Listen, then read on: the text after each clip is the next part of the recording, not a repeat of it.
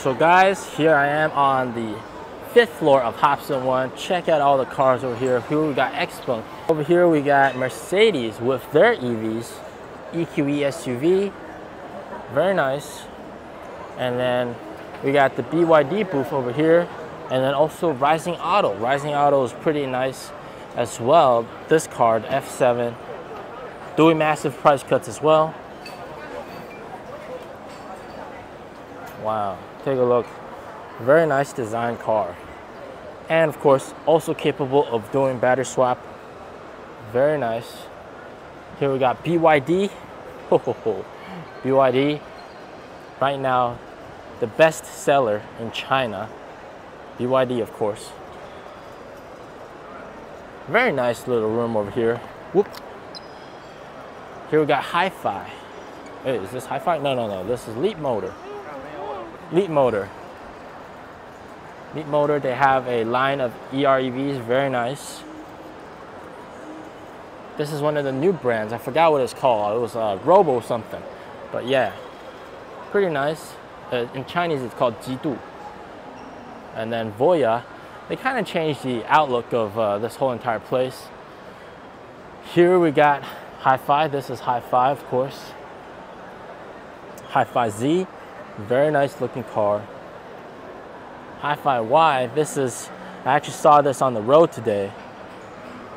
This is the same price as the ES6. Very decent car. Take a look at the inside. Boom. Wow. Very nice. HiPhi. And then here we got uh, Avatr 1-1. Avatr 1-1. Look at that. Pretty decent looking.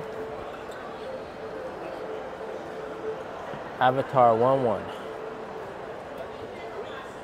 This is also one of the uh, ES6's main competitor.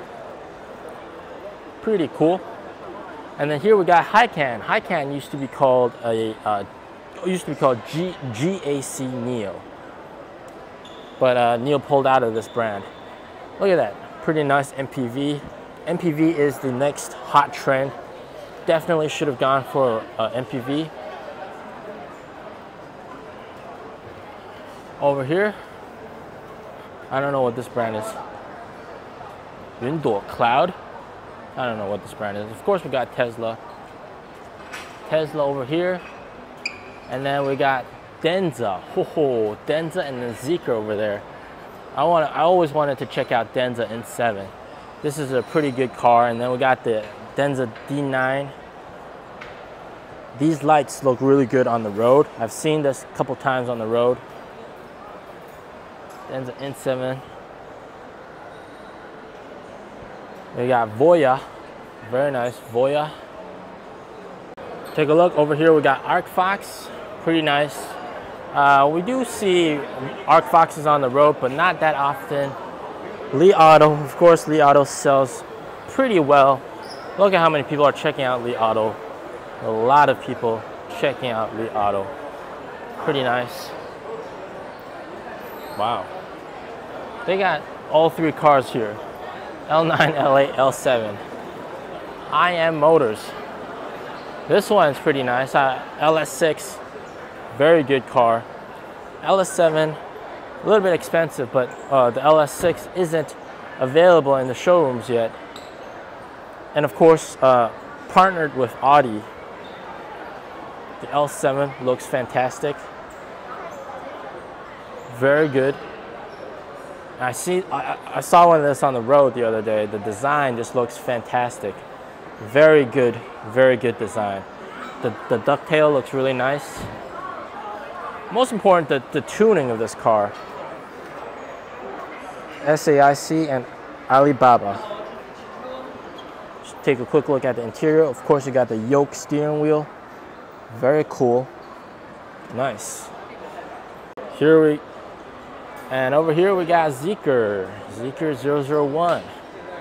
This car sells quite well here in China as well. Fantastic looking car, a wagon car, looks really nice. The interior, pretty nice. Look at the design of the interior. Very, very elegant. Soft, soft seats. Very good looking car. They just came out with the FR version, which has quad motors and is able to do 0 to 100 in like 2.1 seconds. Pretty insane. But take a look at the store overall, pretty cool. As you guys can tell, the competition is still very, very intense and there's so many of these different EV brands out there displaying their cars. And it seems like every now and then there's a new vehicle model or new brand that pops up with some new flashy tech that garners some interest amongst uh, people that don't know anything about EVs. Now, very soon, NIO is also going to be placing their store on the fifth floor. And right now, there's an emphasis on market share to express to customers the market share that NIO has in the luxury EV segment.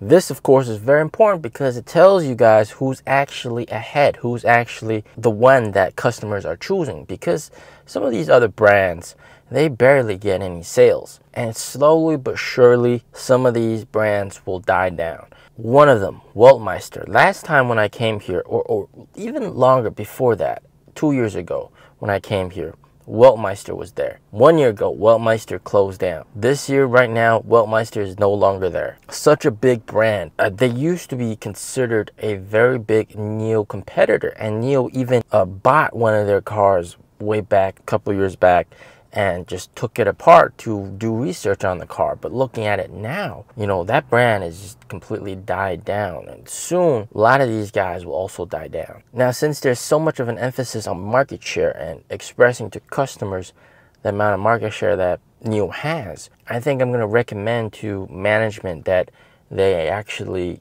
have posters in front to uh, sh showcase how well they were selling. Now, NIO has done that in the past, and in other cities, they're doing that as well. But that would, of course, very quickly get people up to speed at what tier of a brand NIO is compared to the other guys. So it is like a self-fulfilling prophecy. If you're ahead, you're doing well, you're first in terms of sales compared to the other guys, and you show that off, it validifies other people's decision to choose a NIO, and you get more sales and rinse and repeat. So don't get me wrong, even though price war is very intense, but NIO is definitely not a loser.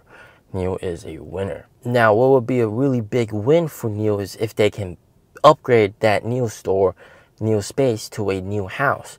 Now, I was told by the sales rep over there that if the Zara store ever runs out on their lease and decides not to renew it, which it's very unlikely that they won't renew their lease, NIO will potentially put a NIO house over there. And that would just be a big, big win because there's so much foot traffic. That Zara location is right at the front door. You're going to get a ton of walk-in volume. Stay safe, stay healthy.